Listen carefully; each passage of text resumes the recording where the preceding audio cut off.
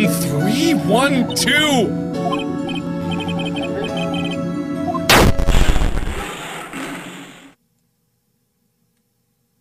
Was that the bite of 87?